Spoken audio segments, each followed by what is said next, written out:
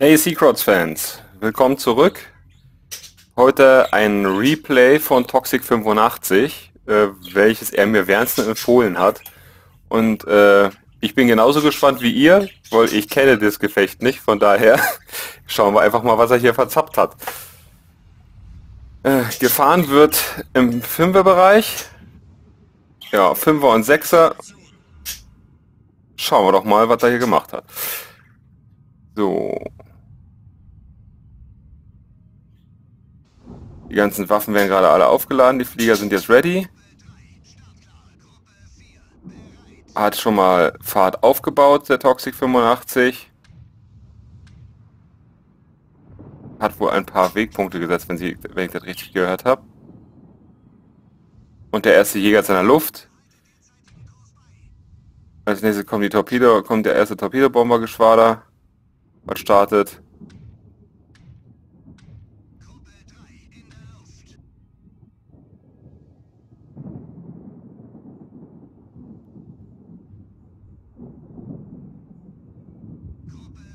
Und es wird zuerst C gespottet mit dem Jäger. Auch eine übliche Gegend, wo Torpedobomber normalerweise rumfliegen. Ja, jetzt hat er alle Geschwader in der Luft und das Gefecht fängt an. Die Nikolas erobert A, der erste Jäger kommt über B rein. Eine Emerald wird von dem äh, Jäger aufgeklärt, so dass die Erober und die Nürnberg von unserer Seite direkt auf die Emerald wirken könnten. Und auch der feindliche Jäger hat quasi schon den, ihn als Flugzeugträger entdeckt. Sieht man an dem gelben Zeichen entdeckt, jetzt nicht mehr.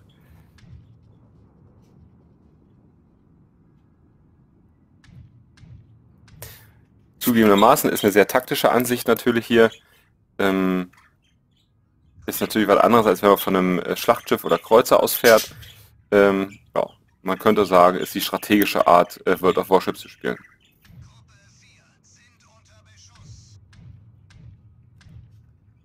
Und schon sind die ersten Torpedobomber im Bereich des Angriffs.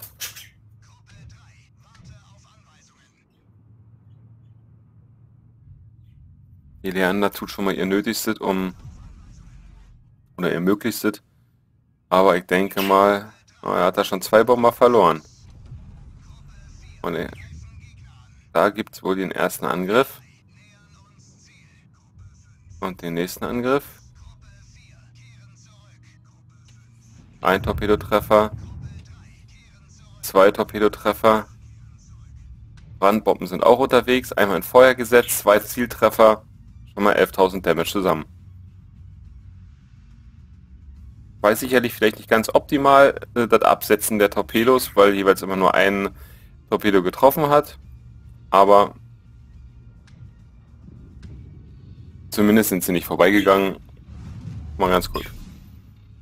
So, C wurde in der Mittelzeit, äh, in der Zwischenzeit erobert. Äh, und bei A wird noch hart gekämpft. Für B interessiert sich im Moment noch gar keine Sau.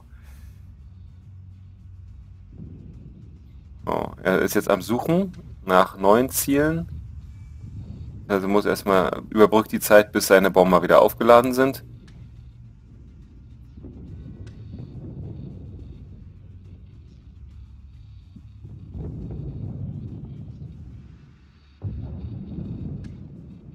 Er sucht jetzt die gegnerischen Bomber. Mit, dem, äh, mit seinem Jäger. Beziehungsweise schafft es jetzt glücklicherweise äh, auch noch die T22 aufzuklären. Dadurch können unsere Leute auf die T22 schießen.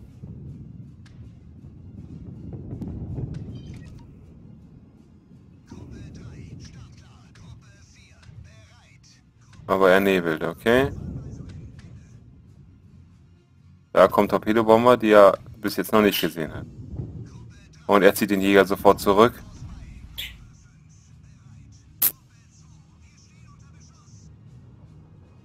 Man muss die Bayern aber ganz schön einstecken gleich.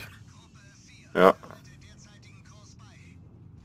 Eine komplette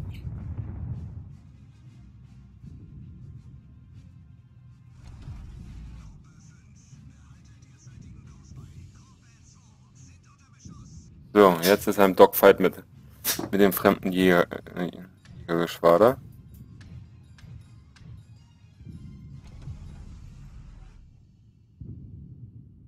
Das sieht aber nicht so erfolgreich aus. Ein Jäger hat darunter geholt.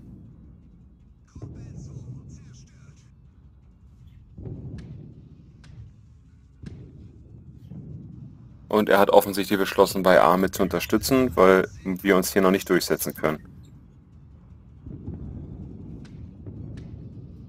Jäger sind auf dem Weg. Und du hast ja natürlich den Vorteil, dass du die Cleveland jetzt down hast, selbst wenn die eine Luftabwehr hatte oder eine äh, auf Luftabwehr geskillt war, dann hast du jetzt hier drei Schlachtschiffe zur freien Verfügung. Da knallt schon das erste Mal, das ist aber von einem anderen. So, da geht's los. Doppelgeschwader. Von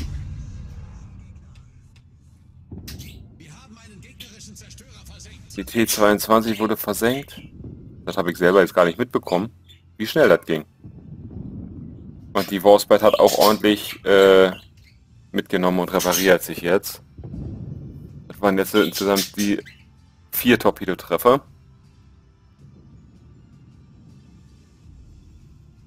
Bei dem Gefecht steht es jetzt äh, so aus, dass der Gegner vier Schiffe verloren hat und die grüne Seite quasi drei. Im Moment hält grün kein Cap. Erstaunlich.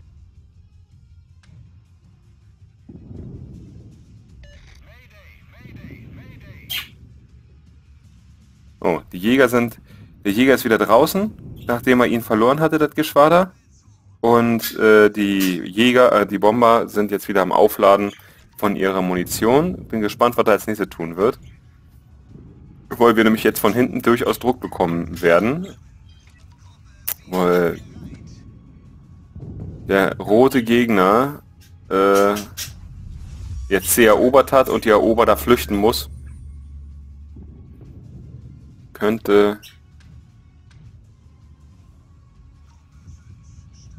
das könnte auch noch eine Niederlage werden. Gucken wir mal. Da sind die, da ist wieder ein Torpedo, sind feindliche Torpedos im Wasser, aber ich glaube, das sah so als ob er die daneben gesetzt hat.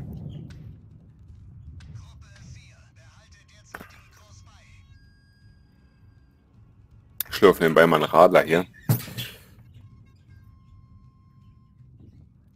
Der Jäger tut seinen Job und schießt da.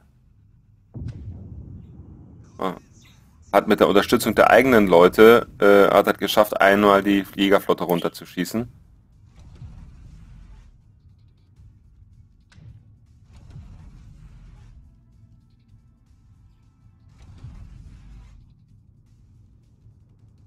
Wie nennt man das noch? Das ist doch keine Flotte.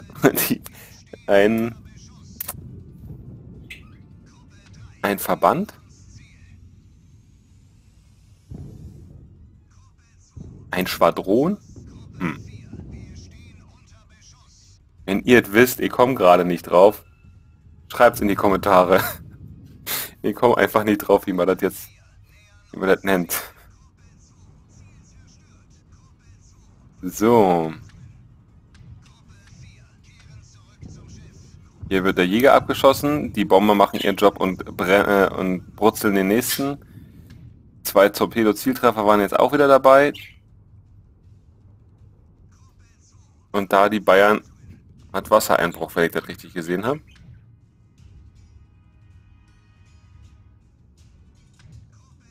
Hm, den Jäger hat er wohl verloren.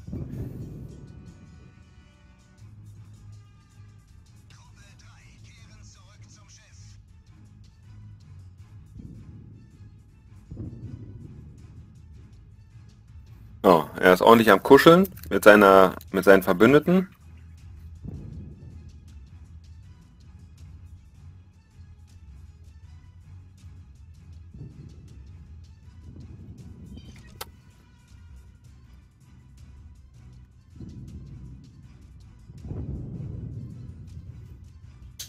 Oh, die Flotte orientiert sich jetzt wahrscheinlich in Richtung B. Jetzt habe ich's. Geschwader. Man nennt eine Gruppe von Flugzeugen Geschwader. Und seine Geschwader werden jetzt aufgeladen und für den nächsten Angriff vorbereitet. Bis jetzt ist das schon, sind das schon 62.600 Schaden bei 10 Torpedos, die getroffen haben. Und auch die Brandbomber haben schon getroffen. Und jetzt rückt hier die New Mexico, die Dunkirk vor. Und werden wahrscheinlich gerade im Gefecht zur Bayern stehen, weil die ja fast schon Breitseite zeigt. Aber da kommen auch die Torpedobomber an. Ja.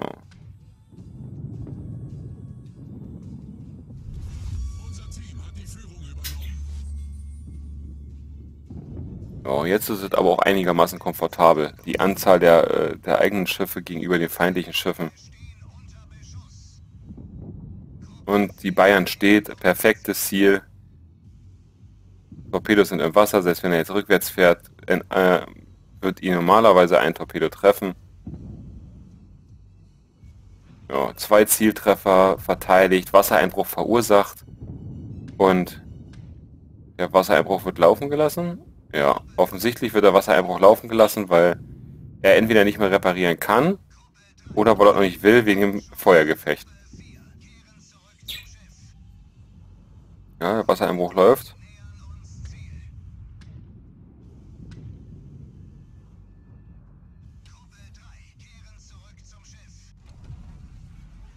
Und nochmal Zieltreffer auf der Furutaka. Und die hatte so viel Zeit. Ja, das ist schon... Unterstützer hat er schon mal. 95.000 hat er gleich zusammen. Der Wassereinbruch läuft und läuft und läuft. Die können da richtig baden drinnen.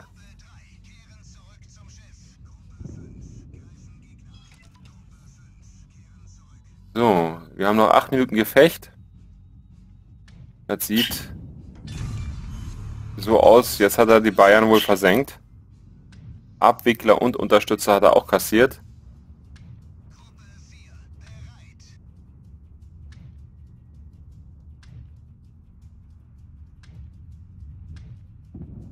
Ja.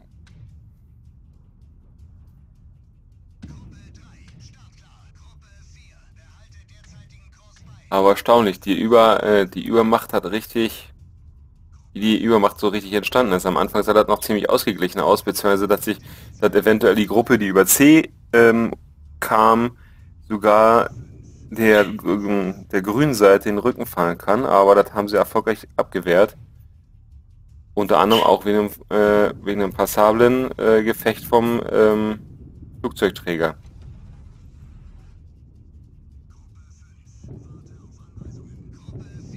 Und da sind die Torpedobomber wieder unterwegs. Jetzt ist noch eine Leander, ein Flugzeugträger und die Fuso da.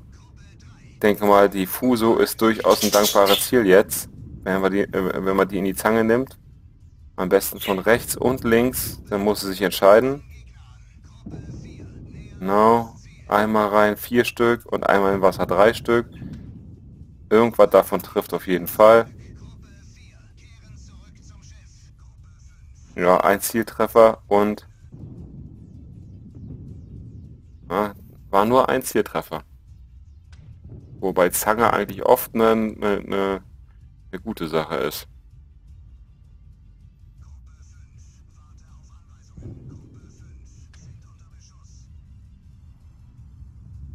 Aber der gegnerische Flugzeugträger hat auch immer noch Torpedobomber, die unterwegs sind. Da hinten fliegt ein Brandbomber rum, den er nicht weiter auflädt, nur um den Flugzeugträger aufzuklären, den feindlichen.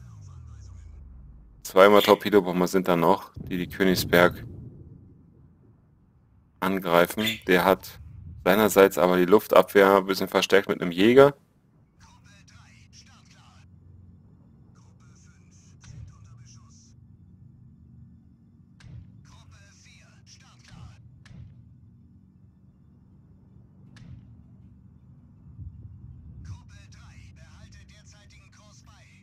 So, wie sieht das aus mit seinen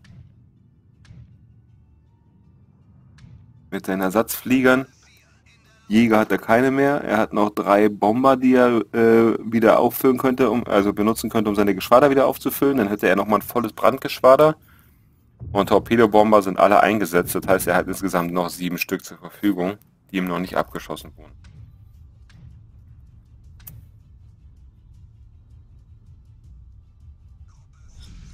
Da kommt jetzt nochmal ein, ein Angriff von zwei Torpedobomber-Geschwadern. Die Bayern tut ihr Nötigstes auch, um die Fuse in Schach zu halten.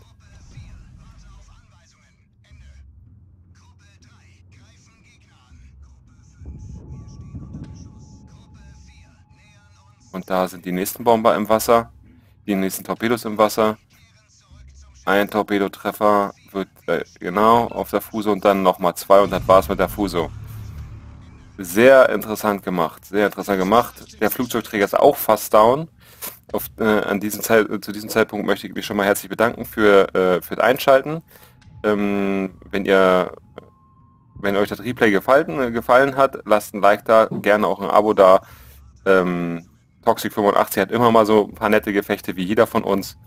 Äh, sicherlich auch mal ein paar schlechtere, aber in der Regel sind sie doch ganz gut, sonst würden wir das hier nicht spielen. Von daher, vielen herzlichen Dank für Zuschauen. Euer Secrets Team. Bis zum nächsten Mal. Während jetzt hier die letzten Bilder zu Ende gehen.